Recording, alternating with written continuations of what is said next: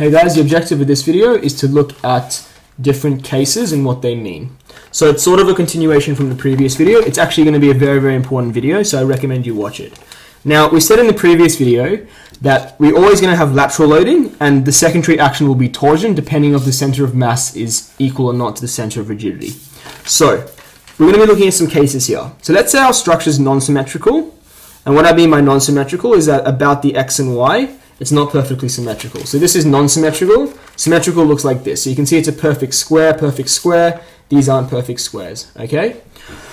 So, if we're looking at a non-symmetrical case like these two here, and in this one we have a shear core, and in this one we don't have a shear core, we're going to be looking at what happens along grid line 1 for both cases.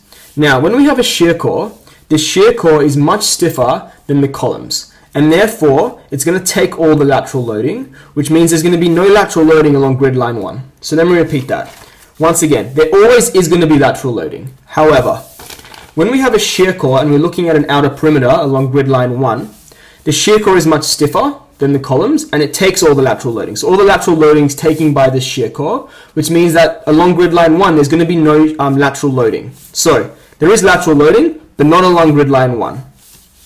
However, the center of mass is not equal to the center of rigidity. So we're going to be talking about how to find these later. So you can see they're not at the same location, which means there's going to be torsion along grid line 1.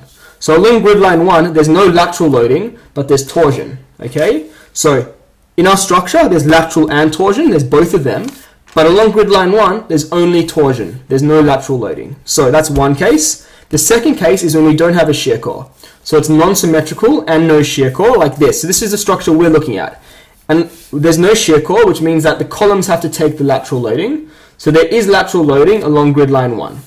Okay, so not only do we have um, lateral loading, but also our center of mass is not equal to our